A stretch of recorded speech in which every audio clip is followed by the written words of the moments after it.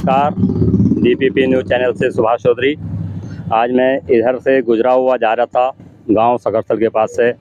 एक यहाँ नाली टूटी हुई है, एक उसका पट टूटा हुआ है काफ़ी दिनों से।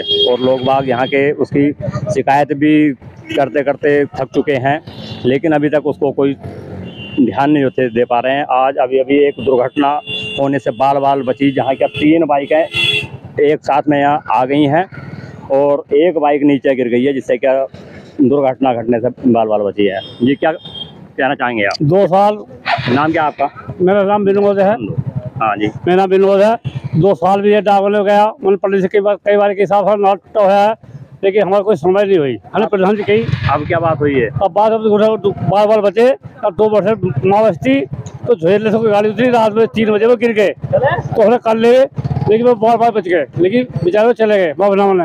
लेकिन कुल मिला के जो है हमारी स्थिति खराब है। तो इससे हम अब हत्या कर ले क्या कर ले हमारे कोई सुनवाई नहीं हुई बिल्कुल भी। जो पद इसके टूटे हुए हैं और हमारे कोई सुनवाई नहीं हुई बिल्कुल भी। आपने किस किस से बोला इसके लिए? हम डाक बने गए हमने प्रधान जेल वालों के ही इनसे कहे हम तो इनसे कह सकते हैं लेकिन हमारे को सुनवाई हो ही नहीं बिल्कुल भी। किन से? डाक बंगले में गए हम तो पंडित जी रहते हैं और जो है यो हमारे इस सड़क वाले कहते रहे हम लेकिन कोई नहीं। हुई पीडब्ल्यूडी वालों से गया हाँ हम कही लेकिन नहीं उन्होंने सुनवाई नहीं करी। गाँव वाले प्रधान जी से कहा। हाँ? हाँ। गाँव वालों से कहा। हाँ प्रधान के लिए आसान देते हैं हम कि भाई चलो आठ दिन करा देंगे लेकिन उनको सुनवाई नहीं हम तक और जो है तो जेल वाले कह गए कि हम कल सौ परसों तक करवा देंगे। शासन प्रशासन से आपकी क्या मांग है? पुलिस वाले हमने कही दरवाजे जी हमने कही जो पुलिस वाले थे हमने उससे कही कि दरवाजे हम हो हो रही जगह आज टूट के मर गई जगह हम भी गिर गए कई बारी और भी लोग गिरे हैं रात दिन हो आफत देते हैं, लेकिन कुछ नहीं हुआ।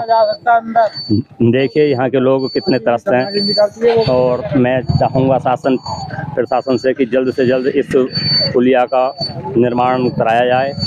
धन्यवाद।